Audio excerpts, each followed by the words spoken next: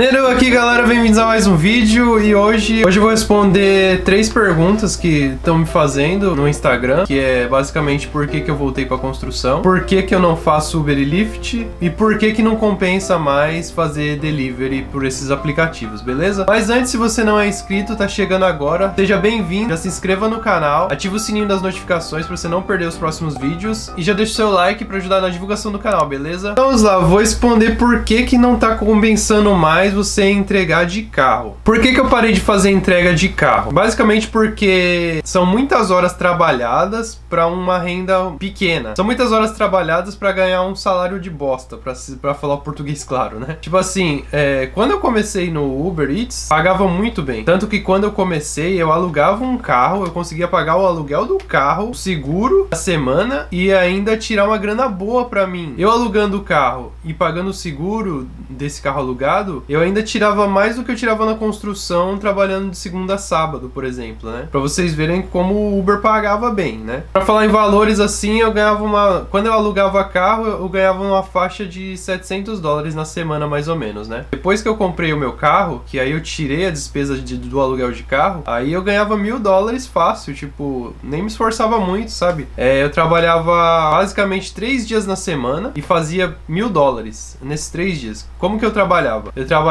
na sexta-feira das quatro à meia-noite né? Eu tirava pelo menos 200 dólares. No sábado e domingo, que é os melhores dias para entrega do Uber Eats, pelo menos, eu tirava aí brincando 350 dólares cada dia, né? Você pensa, tipo, eu trabalhava também, eu trabalhava 12 horas, igual mostrei no vídeo para vocês, né? Começava meio-dia, terminava meia-noite mais ou menos, ou é, dependendo de como tava o movimento, às vezes ia um pouquinho mais, uma hora, duas horas da manhã, né? Teve vezes do começo, quando, quando eu comecei mesmo, até 4 horas da manhã eu já trabalhei, da meio-dia até as 4 horas da manhã. Mas por quê? Porque eu sabia que se eu eu batesse a meta que eles tinham antes, que era 32 corridas, eu tinha pelo menos 350 dólares garantido naquele dia. Então, ou seja, eu preferia muito mais me matar sábado e domingo, regaçar de trabalhar, porque eu sabia que eu ia ter os outros dias livres pra fazer o que eu bem entendesse, né? Que era o que? É, me dedicar ao canal, né? Passear, viver, sabe? Esse foi um dos principais pontos porque eu saí da construção e fui para o delivery, né? Porque eu tinha uma qualidade de vida muito melhor. Eu trabalho bastante, não vou mentir pra vocês, né? Porque trabalhar sábado e domingo domingo mais de 12 horas é bem puxado, né? Mas é, você ter a recompensa no final, né? Você ter um salário bom, isso daí fazia toda a diferença, né? O que acontece? É, saiu um escândalo no jornal,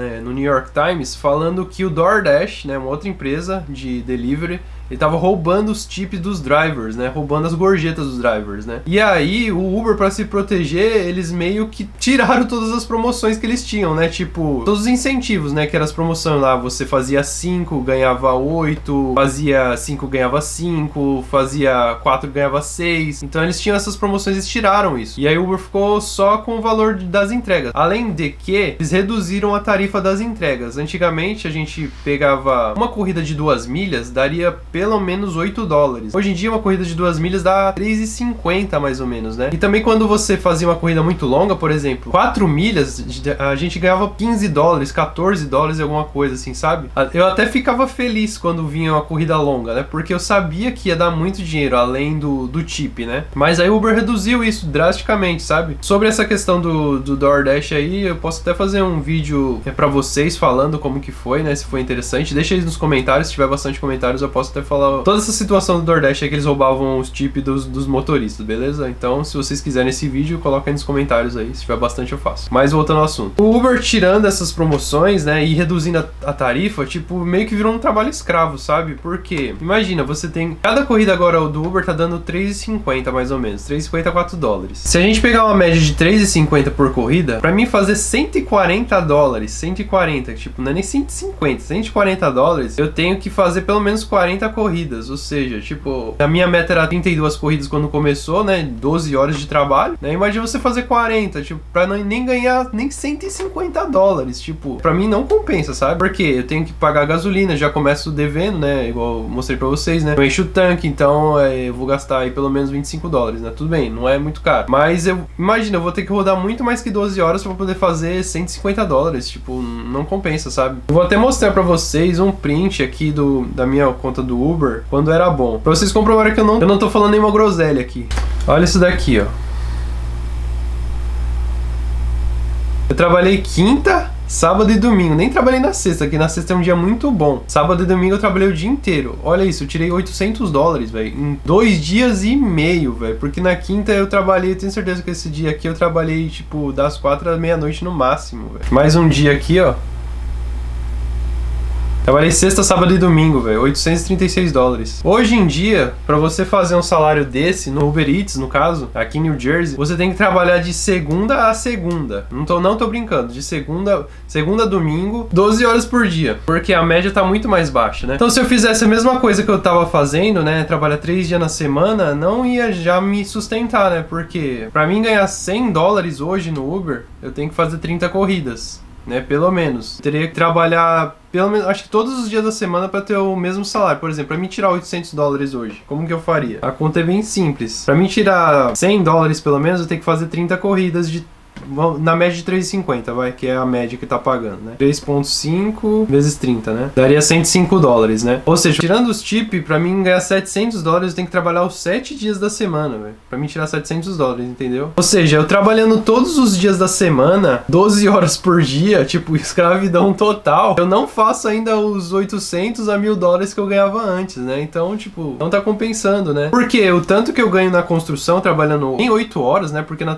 na construção eu tava até comentando com um amigo meu que a gente tava vendo que ia fazer, né? Depois desse boom do Uber aí. Na construção a gente trabalhava, é, acho que umas 6 horas a gente trabalha, porque é 6 horas produzidas e tem os descansos, né? Porque a gente não fica lá, as, a gente não fica lá às 8 horas lá é, no martelo, lá tipo, não, a gente faz o trampo, dá uma descansa, olha o celular, né? Dá, sabe, é, é, é um pouco mais livre, não é aquela pressão de correr atrás da meta ali, né? Porque no, no delivery você precisa estabelecer uma meta, né? Que nem eu tinha 30 corridas de meta, né? E enquanto eu não batesse aquilo, não parava, entendeu? Muitas vezes eu nem comia, né? Ia comer tarde, assim, ou quando sobrava comida de algum cliente, né? Por quê? Pra, pra me garantir, pra me garantir que eu terminasse a meta, né? Da, das promoções no final do dia, né? Aí você fala, ah, Nero, mas tipo assim, se você ganhar 700 na semana é um bom salário. Claro que é um bom salário, não tô falando que é um bom salário, tô falando que não vale eu trabalhar 12 horas todos os dias da semana, tipo sábado e domingo incluído, é, e não viver, sabe? Tipo assim, eu sou uma pessoa que preza muito mais pela qualidade de vida do que pelo trabalho. Eu não nasci para mim trabalhar, né? Eu trabalho porque eu preciso, não, não porque eu vivo para trabalhar, sabe? Como que eu ia manter, por exemplo, o canal do YouTube para vocês, né? Não tem como numa situação dessa, onde eu tenho que trabalhar que nem um maluco, né? Então eu optei pra vo por voltar, né, pra, pra fazer o trabalho que eu tinha, porque eu sei que uh, eu ganho um valor garantido ali, né? Eu vou ter aquele valor na semana e aquilo me sustenta, né? E eu não preciso trabalhar, inclusive, final de semana, né? Porque, nossa, eu, eu parei de trabalhar no, no delivery, eu descansei duas semanas, porque, meu, eu não sabia mais o que era final de semana, nada, sabe? Eu tava trabalhando direto, né? Sem descanso, sem parar, sabe? Isso não é vida, isso não é vida pra mim. Até porque eu tenho uma meta, né? Quem já me acompanha mais mais tempo no canal sabe que eu não quero ficar em New Jersey, né? Eu quero ir pra Califórnia, eu quero morar na Califórnia, porque eu me encantei pela cidade lá, Los Angeles, né? Isso sempre foi um sonho de infância, né? Eu quando eu conheci, eu fiquei muito mais deslumbrado do que aqui em Nova York. E olha que eu gosto muito de Nova York, né? Mas Los Angeles não tem comparação.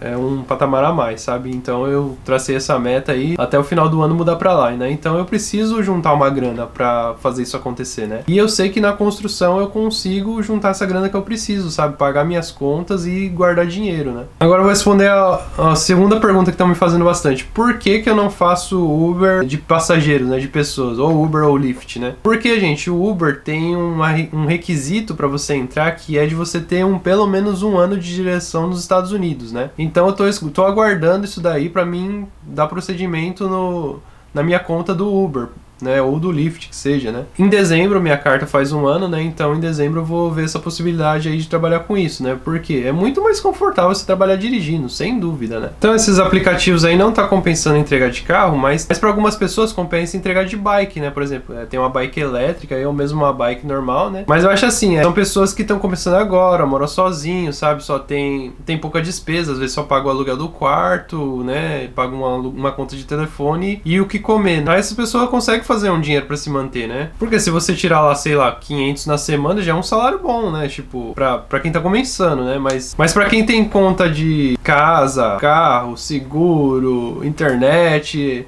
cartão, comida, tipo, aí fica um pouco mais complicado, sabe? Então, por isso que pra mim não, não tá compensando, né? Eu prefiro muito mais trabalhar de segunda a sexta ou de segunda a sábado e fazer uma renda aí na construção do que ficar me matando, porque tava literalmente me matando já, sabe? Chegou num limite ali que eu falei, não, não, peraí, não é assim, né? Não é. Não vim aqui pra ser escravo, não, né? A escravidão já passou. E aí resolvi é, voltar pra minha profissão que eu aprendi aqui, né? Se eu vou trabalhar para sempre com isso? Claro que não, né? Porque, mano, é pesado, né? Uns inscritos meus que chegaram agora, que pegaram um trampo na construção aí, quebraram o chão inteiro lá com a picareta lá. Tipo, é pesado, gente. Não é fácil, sabe? Eu ontem mesmo lancei vídeo porque eu tava cansado, né? Tipo, eu fiquei é uma coisa que te desgasta fisicamente, sabe? Beleza, gente? Esse foi o vídeo. Espero que vocês tenham gostado aí, né? Deixa nos comentários se tiverem alguma dúvida aí ou alguma pergunta para me fazer, beleza? Não se esqueça de me seguir lá no Instagram também, né? Muita gente manda mensagem lá no Instagram e eu interajo bastante, né? Então me siga lá no Instagram. E se você chegou agora e não se inscreveu ainda, viu o vídeo todo e não se inscreveu, meu, se inscreve aí agora. E deixe seu like para ajudar na divulgação do canal, beleza? Ative o sininho das notificações para você receber todos os vídeos, beleza? Vídeo todo dia, 8 da noite, horário de Brasília. Salvo os dias que eu estou cansado, igual ontem. Mais uma vez, muito obrigado por assistir. Eu sou o Nerui, te vejo no próximo vídeo. Bye, bye.